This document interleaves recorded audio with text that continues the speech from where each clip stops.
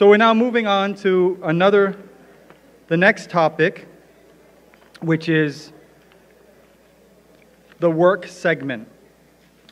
So I'd like to introduce that panel and also certainly Sharon. So Sharon Roulstone is the interim director of the Cayman Islands government's new WORC department. She was seconded from the office of the ombudsman to develop the processes needed to realize the unity government's vision for a radical rethink how labor is managed in the Cayman Islands. Sharon, for those of you who know her, she's a lawyer. She's practiced for more than 20 years before joining government last year. While she is a new civil servant, quote unquote, she is not new to the civil service, having served on numerous statutory boards over the span of her legal career. Those appointments included the chairmanship of the Work Permit Board, the Maritime Authority Board, called MACI, the Board of CINICO, and the Public Service Appeals Commission, to name but a few. For her long service to the people of the Cayman Islands, Sharon was awarded the Queen's Certificate and Badge of Honor in 2010. Like so many outstanding speakers today, she's a former counselor of our Chamber of Commerce. She enjoys being active in her community, although she admits demands of her job currently leave no time for other things. She loves like, things like coaching girls soft football, serving as a founding member of the YMCA, Cayman Arts Festival, and as a board member of CNCF. I can't believe she put this in, but you're, a busy lady and you can still find time to. Wow. She is also currently enrolled in the first cohort of the Truman Bodden Law School's Masters in Law degree program, which she'll complete in September. I think you should give her a round of applause just for that. so, Sharon is a true Georgetowner, having been born in the capital where she's always lived. She's a proud mom of Catherine, a university sophomore this year, and she always keeps, who always keeps her busy with uh, different activities, including numerous rescued pets. So, Sharon will provide us with an update on the progress with establishing the new WORC structure, and following her presentation, she'll be joined by Dr. Stephen McAfee, McAfee, the president of UCCI, and Dan Scott, chairman of the Education Council. So please put your hands together and welcome Sharon to the podium.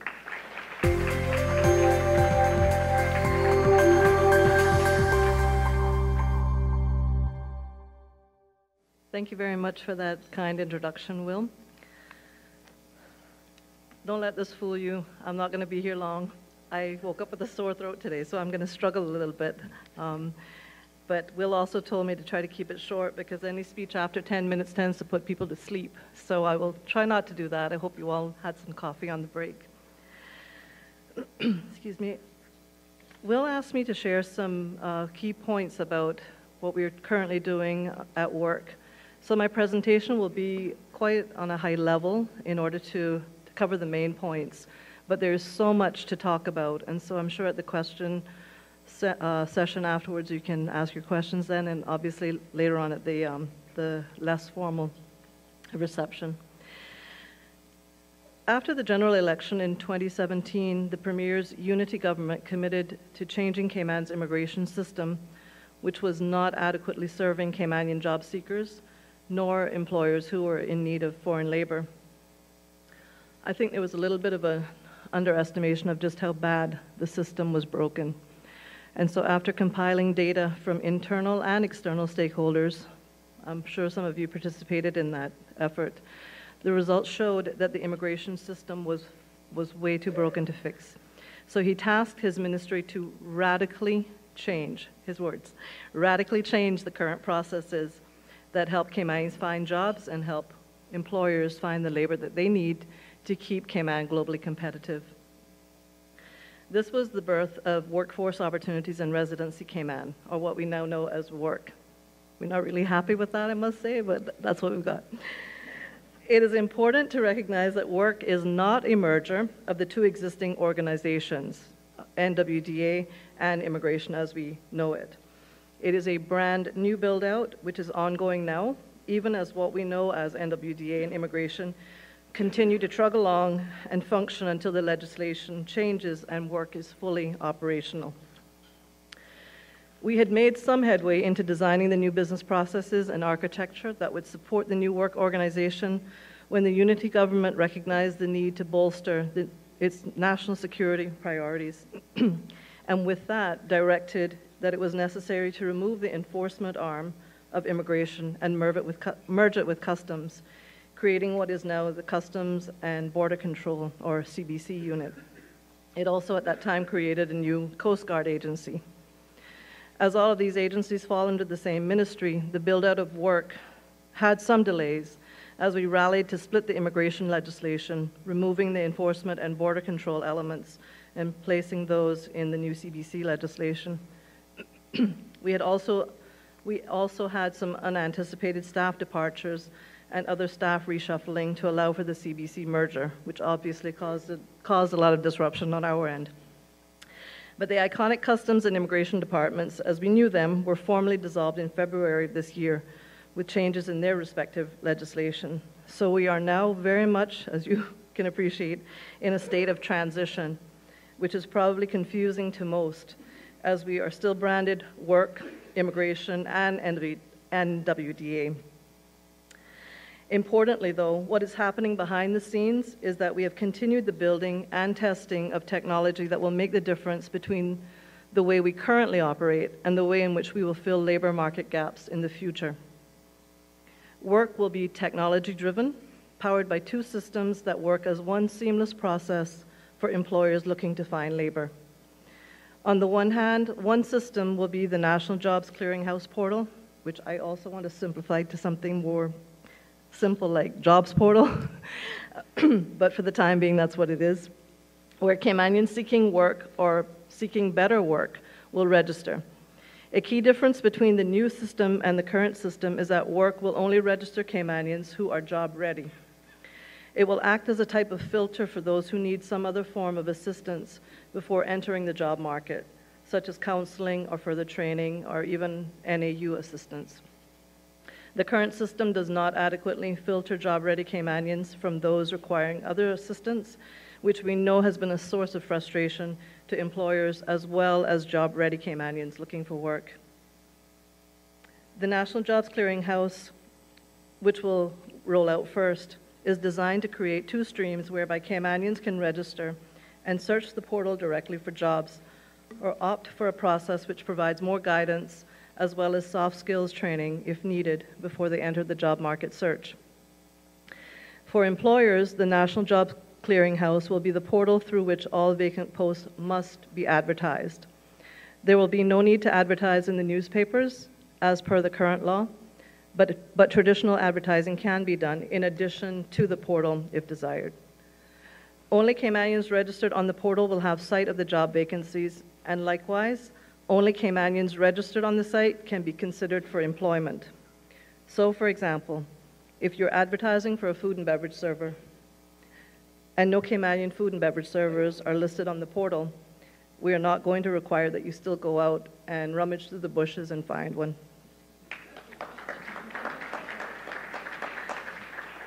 If you advertise elsewhere in addition to on the portal and a Caymanian responds to that alternative ad, you can, of course, hire them directly. There is no need to go through our system.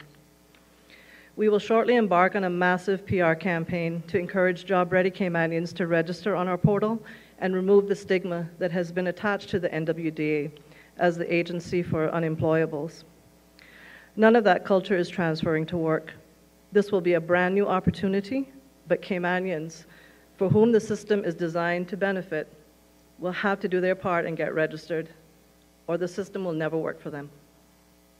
On the other side of the technology spectrum, the second system will support the process by which all permissions applications, so that's your work permits, Cayman status, and permanent residency applications, are submitted. The way it will work in practice is that an employer will first search the jobs portal to determine if there are any job-ready Caymanians available for their advertised post. If there are, the process for them terminates, and that is obviously the result that we want. However, we must be realistic. So if no Caymanians are registered on the portal, or none that match the skill set that's required, the employer continues on with the process of applying for a work permit via the second phase of the system. The online application form will be greatly enhanced from what you're familiar with now. All supporting documentation required for an application will also be uploaded. Payments will be made online by way of a debit or credit card or by an escrow account so that our applications process is entirely, entirely paperless.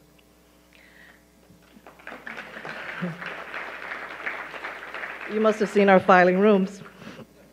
The system is designed not to accept any application that is incomplete. Therefore, once the application is transmitted to us, our team of administrators should be able to review and make a decision on an application in our benchmark time of two weeks.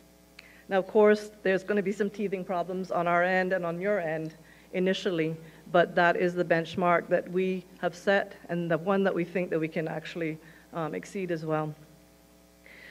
We believe the short turnaround time will also greatly reduce the dependence on the temporary work permit process, which will create efficiencies and cost savings to our customers. The rules we are building into the system will also allow a more streamlined and secure outcome. For example, we will no longer be asking for police clearance certificates. Rather, the system will run a background check on the applicant and will only allow an application to proceed if the check comes back negative for infractions. This is what is actually taking place now every time you travel with the APIS or the Advanced Passenger Information Systems check, which screens all airline passengers ahead of their arrival into most international airports, including ours. Our, our, interface at WORC will be with agencies such as the Joint Regional Command Center, used by law enforcement in the USA, Canada, Caribbean, and Europe, along with Interpol and other international crime agencies, to thoroughly screen all work permit applicants from wherever they may originate. Our current system is woefully inadequate there. The system will also not ask you for any documents that a Cayman Islands government agency has issued. So, for example, we will not be asking you to produce a trade and business license, a Cayman Islands issued passport, or marriage certificate, or birth certificate, etc. Our system will interface with other government agencies for that information.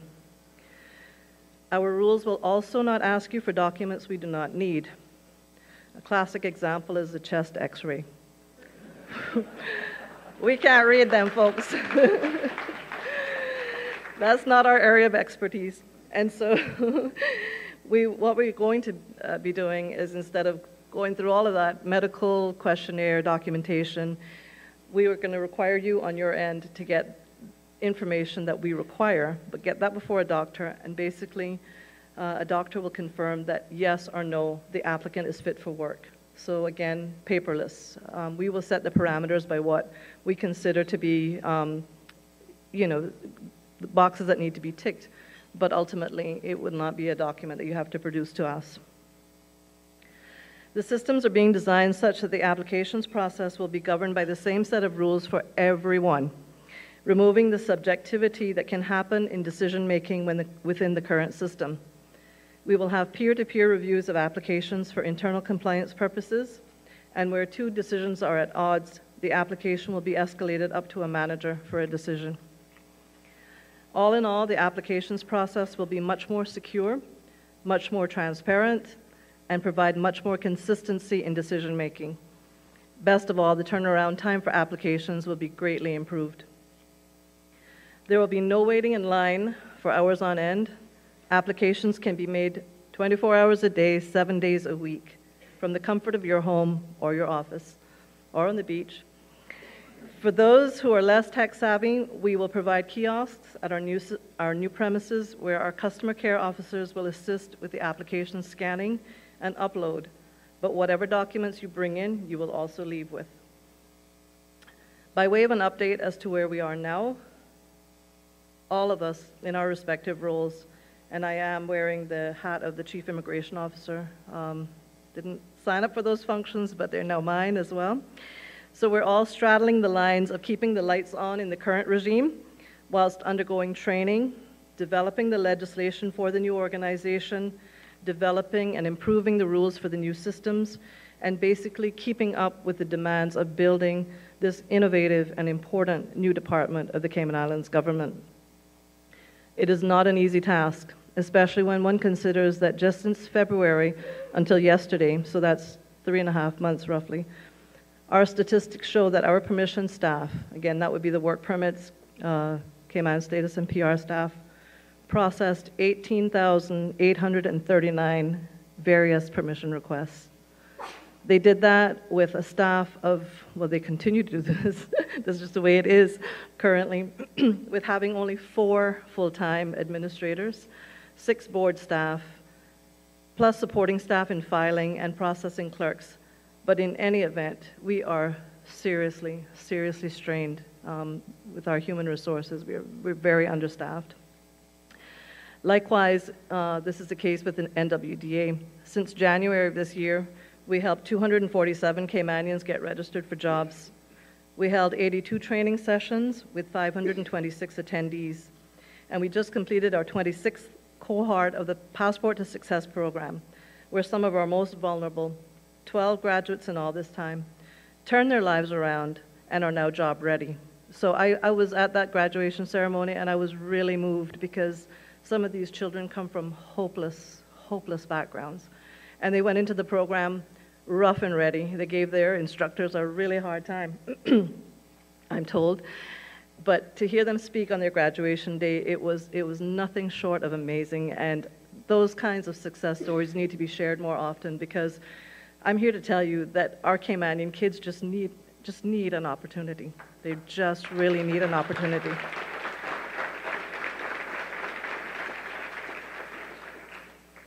Again, all of those, um, all of those assistances were done with only two people in each of our respective training and registering Caymanian staff. We had total of four people processing or making all of that happen. So um, yeah, it's, it's pretty amazing. And I know that we frustrate you and, and yeah, if, but if you could only see what's going on behind the scenes, you might say, I get it. I, I totally understand. And I should say we're doing all of this between four different um, locations. And it's a very manual, very labor intensive process because everything we do is with a file, a physical file.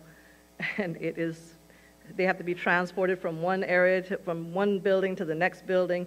So it's anything but, but efficient.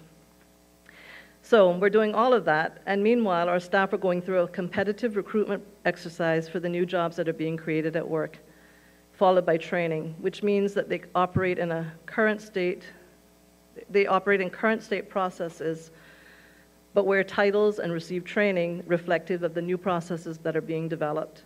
Essentially, they're constantly wearing two hats. So I take my, my hat off to them. Some of my staff surprised me by showing up here, and I must say they're, two, they're a couple of my superstars who make your lives easier because they are so e efficient. And I'm not going to point them out because you all might give them more work. but thank you, ladies, for being here. I'm, I'm really touched by the, by the fact that you came to surprise me. And you did.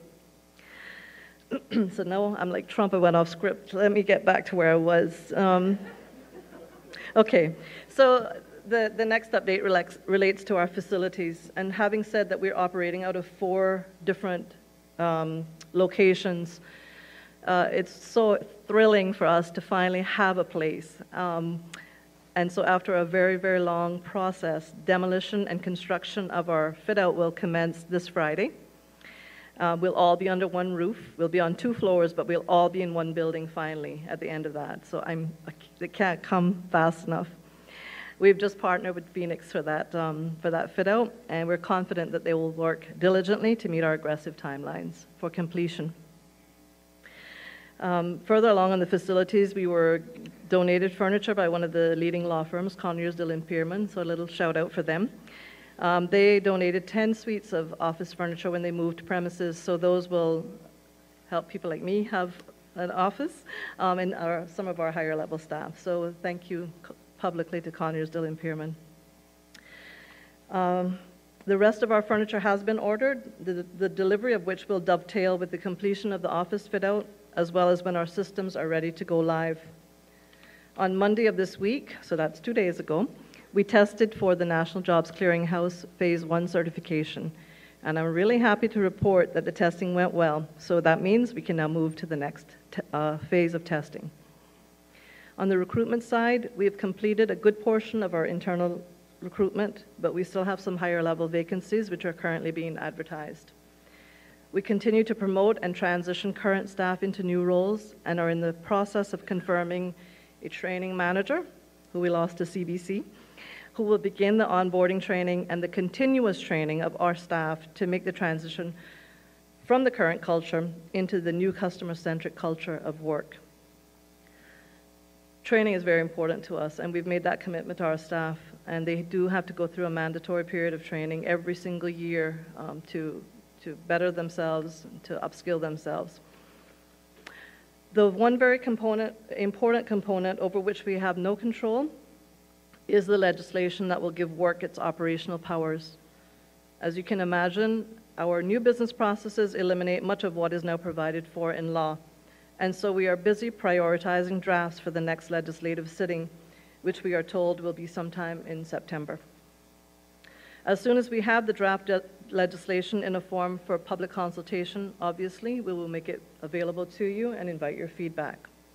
And we've taken that stance throughout the process of having our stakeholders, internal, our staff, as well as our external customers, help build this organization with us. And so we look forward to your continued partnership as we move to the next phase. We will be shortly testing the National Jobs Clearinghouse portal uh, with some 20 private sector partners, some of you are here today, who have volunteered to test the system with us. Be on the lookout for a notice. Um, I was hoping to have a date for you, but, but our dates for that testing will be rolling out shortly, so be looking for an email from me soon. I appreciate that this has been a very long time coming, no more so for you than for most of us working in the current system day to day building a whole new department essentially from scratch, changing the culture that has plagued the current state for so long has been monumental, and it continues to be. We are still very much a work in progress. I am, however, very optimistic that we're almost out of the tunnel, and so we only have to beg your indulgence with us for a little bit longer.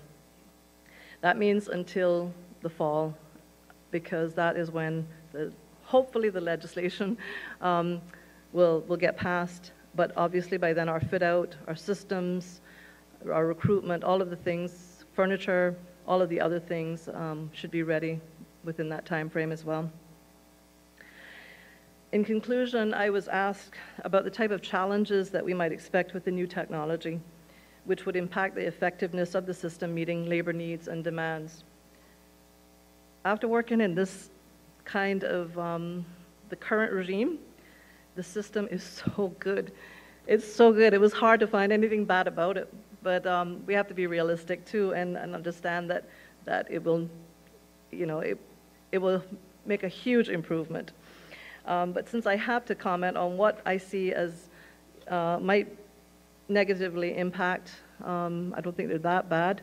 But obviously, the first one is the adoption of the new processes and online system by our customers because most people don't like change. They don't respond very well to change. And so we getting everybody across to this new entirely paperless technology driven system um, will have its teething issues. We, we appreciate that. Also, not everyone is going to be tech savvy, and so that's why we will have um, kiosk and staff readily available all the time to help people who who have difficulty using our system. Another um, frustration that we might find, or we know we're going to have, is trying to get our job seekers and employers on the new system.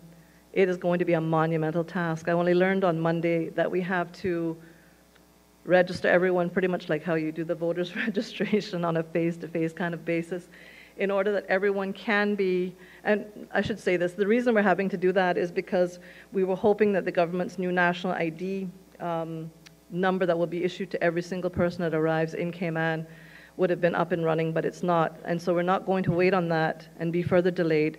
We're going to create our own ID so that every person applying for a work permit, every work permit applicant, every Caymanian job seeker, every single person that we interface with will have an ID number. Um, so uh, that is something that we have to do. It's going to be huge, but we will encourage you, you know, in your own respective offices, please make your staff aware of the importance of getting registered. um, and we will be making an announcement, an announcement about that. I'm looking at Alex. Um, I'm, I'm, I'm just going to have to update you on it, but it won't be that long coming because September is not that far off. Last thing is going to be patience for you and for us. As the new system with the new processes um, are going to be new, it's going to be a very steep learning curve. But we think that you will be pleasantly surprised with the process. Patience will also be required for the new section, our labor market assessment unit, that will collect and analyze the data to identify trends in the labor market and, demand, and the demands of the private sector. Once we have usable data, we will be able to strategically manage, monitor, and analyze labor needs and trends, but it will take quite some time. We estimate two years, roughly, for us to be able to uh, accumulate and gather that data, which will help to inform where the job gaps are most critical. We deliberately did not um, roll that out in, initially because when we had our other delays, we thought it's best just to get the services that our customers are familiar with, and we can stall that one, but now we're ramping that up again to, to start the advertising to fill the posts within that section of our department. Lastly, WORC is a customer, sorry, WORC is based on a customer-centric approach. This was driven by our employees when we polled them, and we said, what do you want WORC to look like? What is most important to you? And the overwhelming response amongst our employees was that they wanted, to be, wanted it to be a center of excellence for customer service. So our task is to foster a new culture of change and continuous improvement in pursuit of that goal, customer service excellent. We have said it, and we want you to hold us to it. Thank you for the opportunity of being able to provide you with this update, and I trust you found it helpful.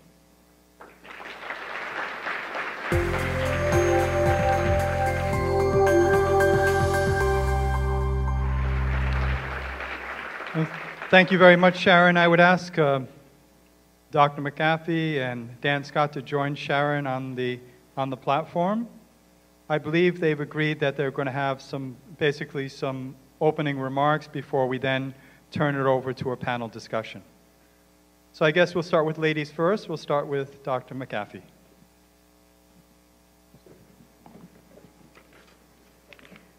Good afternoon. It's a pleasure to be with all of you today and to join this interesting and informative discussion. I want to begin by saying I'm thrilled to see UCCI students, faculty, and staff here taking advantage of every learning opportunity afforded them. So I want to start with the concept of workforce development. I could speak to you for hours about the work that we do of human potential, but to keep my remarks brief, I want to focus on workforce development this afternoon. I'll begin by saying that the workforce system in the Cayman Islands has not kept pace with the economic expansion thus far, and it must be re engineered to meet our forecasted growth. We have an opportunity today to consider how best to change future workforce and civic outcomes. It's been my experience over years that when educators and employers work together, programs of study can enhance both work readiness and career advancement. Education that coordinates classroom instruction with work based learning experiences and leads to the attainment of industry endorsed education credentials and desired job skills is what you will hear me refer to today as career pathways. Multiple entry and exit points along a career pathway enable people to upskill and secure jobs with increasing responsibility and compensation. Career pathways explicitly map the education and soft skills and workforce skills needed to enter into a profession and to continue to progress through various varying stages of uh, increasing ability. As we know, one excellent choice is a college degree, but other post secondary credentials are equally important and can be pathways to exciting careers. Middle skill jobs require education beyond high school, up to a four-year degree, and they make up a large portion of the labor market in the Cayman Islands. Technical vocational education and training and many associate degree programs can provide entry into rewarding middle skill jobs with career advancement. We must focus on high leverage strategies that scaffold from existing efforts to build a comprehensive national demand driven careers pathway system. This type of system could prepare thousands of people for middle skill jobs in targeted high growth industry and social sectors. So, I want to talk to you about this concept of building a comprehensive demand driven career pathway system because it's a collective responsibility. Employers, we need you to collaborate with educational institutions like UCCI to develop sector based approaches to expanding the talent supply that possess the skills and the education that you need. To accomplish this, we need you to contribute to the development of a national framework providing guidance on the need of both degree programs and fast track industry valued credentials that are customized to meet the needs of a diverse range of job seekers. As educators, we must design curricula and develop new programs of study that increasingly offer a sequence of short term credentials that can be stacked into longer career pathways, which give job seekers a clearer understanding of educational on and off ramps to advance their careers as circumstances permit.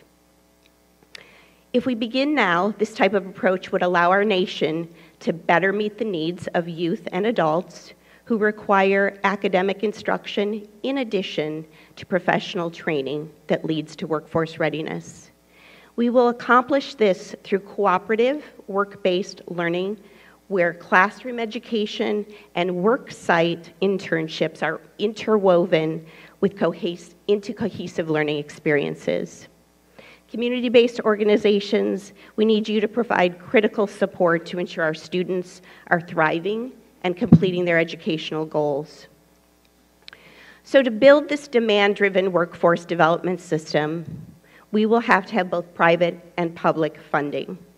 The most successful systems that I've seen across the world target program investments through regional funding collaboratives to ensure mutual benefit for employers and job seekers, targeting gaps in the current education system and catalyzing involvement of key stakeholders. One approach is to incentivize braided funding strategies to leverage public and private funding to incubate new strategies. Government, I ask that you consider how to scale impact by aligning existing education and workforce development initiatives and funding, where possible, with the goal of more effectively closing the skills gap within this national framework. Finally, we need new structures and collaborations. Let's establish sector councils, industry based collaborations of employers and educators. Let's strengthen the capacity of educational institutions to gather, analyze, and predict real time labor market needs and outcomes.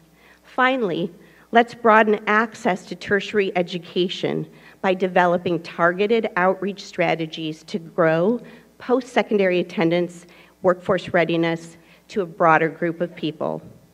In closing, the Cayman Islands has the knowledge and the resources to make comprehensive tertiary education a reality.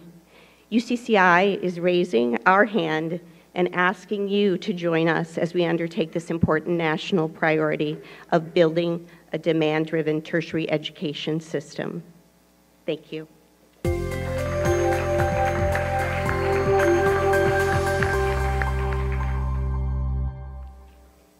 Good afternoon, everyone. I'm actually pleased to be here and thank you to the Chamber for what I think is a very timely and important forum that you've, you've said about this afternoon. Cayman's economy is thriving. All indications are that we will, over the next few years, experience our fastest rate of growth ever. Our continued success will depend on how we respond. A critical part of that response is human capital. We need to continue to attract top talent from all over the world. At the same time, it is critically important that we provide the full spectrum of our Caymanian talent pool with the very best education to ensure that they too can fully participate in the Cayman economic miracle. Under the leadership of the Minister, the Honorable Juliana O'Connor Connolly, the Education Council and the Ministry of Education are undertaking various initiatives to ensure that we serve the students of our country and deliver for them the very best. This in turn will ensure that businesses can access top quality, well educated talent who together can grow and prosper. One of the in initiatives which you may be aware of is the introduction of the current national curriculum of England. Effective August this year, government primary schools will adopt this curriculum and high schools will do so beginning August 2020. Recognizing that students learn in a variety of different ways, it is important to have a curriculum and support resources to allow all students to succeed. I am therefore pleased to report that government will be providing the necessary support material such as textbooks, workbooks, exercise books, online resources, as well as hands-on materials. Rest assured that much hard work is being undertaken by the ministry and others in the government education system to make the changes needed to ensure that the Cayman Islands government schools can deliver students that can compete with their counterparts globally.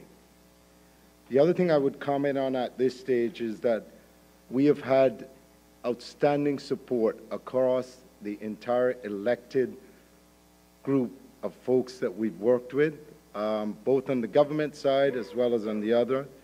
And in addition to that, the Deputy Governor and his team have been absolutely outstanding. Earlier this year, I had the privilege of joining the Minister, the Councillor, and a team from the Ministry of Education to visit some schools in England whose student bodies come from very disadvantaged backgrounds. In spite of their backgrounds and the large class sizes in some of these schools, these students were scoring well above the national average. There are a number of factors which contribute to the success of these schools.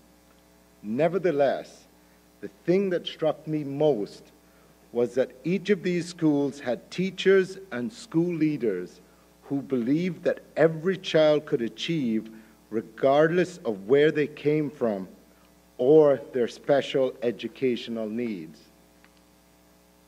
My ask of you today is that you join us in our belief that every child in school in the Cayman Islands can achieve regardless of their background and share our commitment to ensure that they are given every opportunity to do so. Thank you.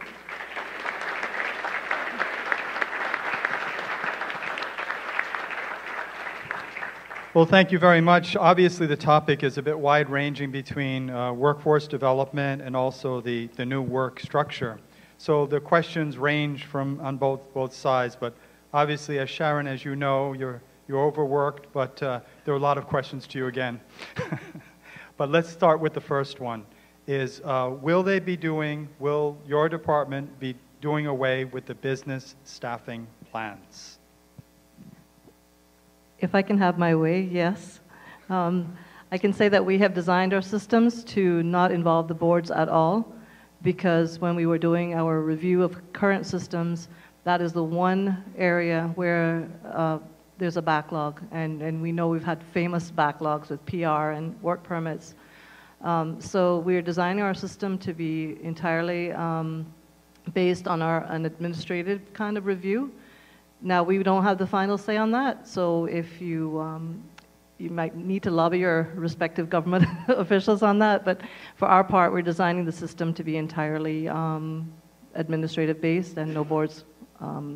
They, they, they can't feature uh, because we're, we're focused on efficiencies, and uh, having boards is unfortunately, in my view, a thing of the past. So the next question just deals with your structure of your department, and they just ask a simple question. With the economy doing so well, why are you understaffed? That's partly to do with the split that um, we were not anticipating when, when we had to take, when we split some of our function at, and that went over to CBC. Now, that included some of our uh, staff who are not even in the enforcement border control areas. But what we said to our staff is that in this transition and in, in creating these new agencies, we don't want anyone to not have an opportunity to, to move or to develop themselves and get in a different area. And so that obviously created some of the, um, some of the staffing situation that, that we have now because we had to rally and plug holes. We are, um, the other thing, the other reason, um, because the system is new and we are anticipating our needs, we don't know what they all will be. And so it's really difficult to go and hire a bunch of staff that you don't know if they're going to be, you know, necessary once the system gets um, up and running. Because, like I said, most of what we do now is so manual, um, it's labor intensive, and the new system will not be that way. And we don't want to hire people and then have to let them go. So I'm sorry, but that's, that's just one of our frustrations right now. It's really difficult for our staff. So I can only ask you to, to just bear with us because there, there are a number of reasons why we're in this situation. Another question deals with um, regards to the future of work permits, but also to the rollover in PR. And what the question is, will that system move over to the same type of system as you're uh, planning for work permits, for PR and permanent re- and uh, Caymanian status? If, if I'm understanding the question correctly, all permissions applications will go through our system. Okay, including those. Yes. So one of the questions deals with the training and upskilling of Caymanians. Um, so basically said, we have heard nothing on training or upskilling of Caymanians. Is this because there is no intentions to address the problem, or is the responsibility going to be moved to some other department? No, we very much want to own that, but um, what, we, what we don't want to do is be the trainers, though. Um, we will provide the, the facility where Caymanians can come and register with us, and we, we, uh, provide, uh, we locate areas where they can get the training that they need. If they need further education, we will refer them to people like Dr. Stacy. Um, but we will be very much counting on the on all employers to take their responsibility seriously. Uh, section, sorry, Regulation 6.2 puts the onus on employers to train, and without a recognized and workable training um, regime within an organization, we have grounds to deny a work permit. And we have a very amped up compliance section that we're building. We're not going to be in the bushes chasing overstayers. We're going to be making sure that people are complying with our laws. So this question kind of relates the same way. It's basically saying when you identify somebody as an unemployed, unemployable Caymanians, and they're filtered out of the system or the job portal, what happens to them? And I guess it says, has provision been made to provide training and education? So these Well- are the people that you've identified that are not work ready. Well, we do have uh, people who are trained to identify, you know, where an individual is not job ready. And they will analyze and work with other government agencies to get the assistance that that individual will need. Um, the current way we work is that everybody gets dumped into the NWDA stream, and we just don't have the resources to screen everyone, so they all get out. You, you know, you ended up with them, uh, and they're not necessarily job ready. Our commitment is to make sure that we vet them, we screen them, and we give them the assistance that they need before they go on our job ready portal. And, and we take that seriously because people do have needs. I mean, there are certain people that have, um, you know, let me use it as an example mental health issues. We're not just going to throw them out the door and say, we can't help you. We're going to get them, put them with the agency that can give them the help that they need. So the next one is probably directed to uh, Dr. McA- McAfee. It says, if our focus is on getting Caymanians employed, why don't we invest more in local tertiary education by improving their campus and expanding their curriculum? I think as any good investor, you need to understand what the plan looks like and what that investment will lead to. I, we are having great conversations right now. Part of the opportunity to be with you here today, and since I've been here um, since the end of December, have been trying to spend time in the community to understand our mission as the public access institution is to broadly serve both workforce development, economic development, innovation, social change. We have a broad remit, and by the very nature of that remit, we have, uh, there are a lot of resources that are brought to bear to deliver on that well. Our goal is to do well, whatever is put in front of us, so that we build your trust in the community.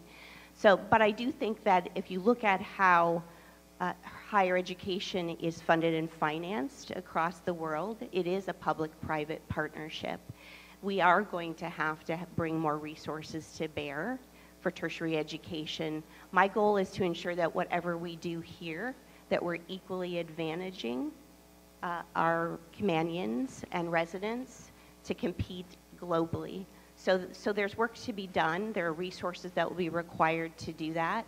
I think what we need to do is make sure that we're using current resources to the best of our ability and then assess what other investments are needed uh, to make sure we're moving forward. As the Cayman Islands continues to grow in terms of its population, it's already seeing stress on the physical education structures in terms of the schools. Um, I think obviously Cayman International School is almost doubling the size of their school.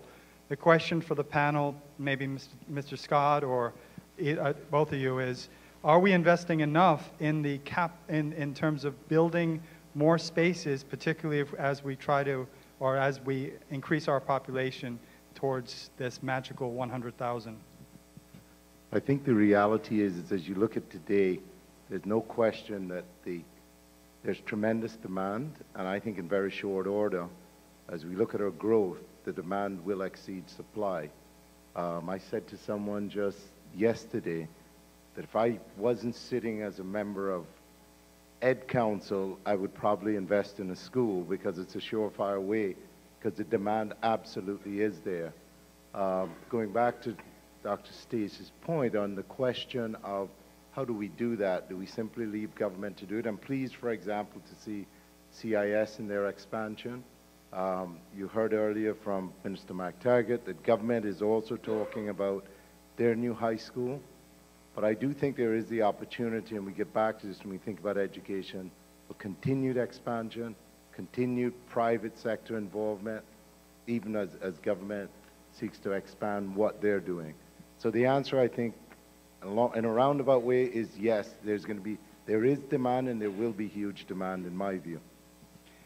In other countries, um, according to this person that gave me this question, uh, particularly in the UK, when they have unemployment issues, they actually target specific areas and actually launch programs to ensure that the people have, where the high unemployment rates are, there are specific programs to ensure that those people receive the attention they need. Do you think that uh, higher uh, concentration needs to be done on where the unemployment really is in the country and focus specific programs in those districts.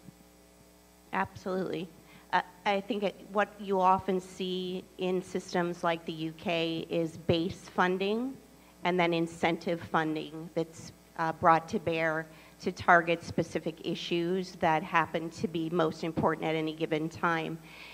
But it goes to the point I made earlier about we need to have real-time accurate data so that we do understand how the resources that we're bringing to bear are affecting change. And, uh, and so I, I think that is something that we want to push forward on. We, at a higher education level, need investments not only in brick and mortar to bring our campus up to contemporary learning environment, but we also need to build uh, our digital capabilities, our technology-enabled learning. We want access to exist for people regardless of where they live and work. You shouldn't have to come to the UCCI campus to get the education and training you need. We want you to, if that's what works for you and you want to do that, but we need to be able to deliver education in a more real-time, uh, not space-constrained way. And the, the final question for this panel is, the enrollment of the private schools has increased while the government grant has not increased. And I'm not sure whether you are in the position to answer this directly, but should the government consider increasing this? Well, I, I guess the question is, is, and I'm not sure what, what the question is directed at. My view on it is that government currently is spending a great deal of money to try and meet its own needs. Um, at some point in time, I, I certainly would be open to the idea that if private schools are building the infrastructure, that perhaps, and again, this is just my view, not necessarily the view of the government of the day or others or even the council, that there may be the opportunity for government to say to them, for example, okay, you're going to build a school, you build the bricks and mortar, we will guarantee you 300 students, an agreed rate, and equally as well, the private school doesn't get to cherry pick those students, but at the same time, it provides the opportunity for them to get that, that's a guaranteed start, plus students that are non-Caymanians would also go to the same school. And it gets us back to this whole idea of a more integrated school. So I, I think from my standpoint, it would be tremendous to do it in that very targeted way. Currently, when there's a grant from government to the private schools, it does not necessarily target Caymanians or, or those needs, right? So that the challenge is, do you keep doing that while at the same time trying to add more schools and build high schools and build more government schools? My view is a better approach is say, we will provide you with the students and we will pay for them to go to school and you build the bricks and mortar and you bring the other students. So together we get back to an integrated school system. That's just a final point on that. Do, we currently operate a segregated school, school system where the public schools primarily are Caymanian students and w- the rest of the expatriate students are just uh, basically sent to the private system? Uh, tell us what Yeah. your view. Well, I, I think using the term segregated is, is a harsh term and probably inappropriate. And I'll tell you why. It is all based on the ability as to what to deliver. So currently the challenge the government school has is that it is overwhelmed by the number of Caymanian children already in there and they simply don't have the space available. When I went to school in the public school, we absolutely did have everybody together. And it's for that reason that I think as you look back and the whole concept of Back to the Future, but it is also based on what is available and how do we spend it. So the primary focus of the government has to be to ensure that every single Caymanian is given the opportunity to get an education to go to school. That has to be their primary focus. Now, the idea that, and I think everybody I've, I've, spoken to, certainly the minister, the current government, the, the elected members would all say there's real value in having an integrated system. But the question is, is how do we best do that? And I would submit the way that we do it is create these public-private partnerships, and we do it that way as opposed to simply saying government must build a school to accommodate everybody.